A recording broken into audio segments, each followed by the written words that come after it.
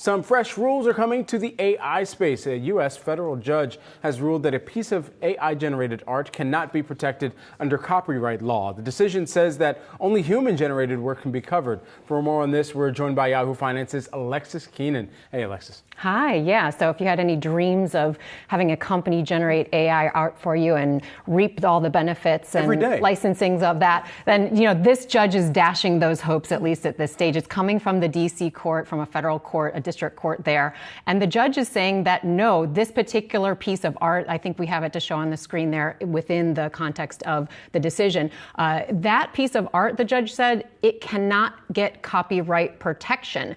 And uh, this art was generated by a software that is owned by the plaintiff in this case, and his name is Stephen Thaler. And what he did is he applied for a copyright, and he said he wanted then the name of the copyright to go to the computer software, but he wanted then the rights to be derived and transferred over to him so that he could benefit from it if there was any benefit to be had. Now, that definition of uh, whether or not something can be copyrighted has been really murky because courts across the country have been coming down with different decisions. And ultimately, in March, the Copyright Office tried to give some clarity, and they said that they uh, would specify that they're willing to consider AI inclusive art, but that it can't be generated wholly by uh, machine. So in this case, because the art was generated only by the computer's algorithm and the software, that the judge said no. What the Copyright Office said, so that this decision seems to be in keeping with the Copyright Office's instruction,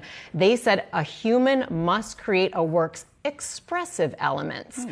Uh, in, in, the ruling, the judge writes this. Uh, she says copyright has never stretched so far as to protect works generated by new forms of technology operating absent any guiding human hand. Human authorship, authorship, she said, is a bedrock requirement of copyright. Uh, now, I look back into some of the deals so far that have taken place for AI generated artwork. There was one in 2018 that captured nearly a half a million dollars. Uh, so this could be a lucrative area, but in terms of copyrighting and getting the, all of the rights that come along with that to reproduce artwork, mm-hmm. not going to happen, at least at this stage. Maybe the Supreme Court will have something to say about really it. Really interesting. I mean, you could argue everything has a human hand because the AI had to learn from art that was created by and a human had to prompt it the input it. yeah. I don't know. Thanks for keeping us posted on all of this alexis yeah still murky waters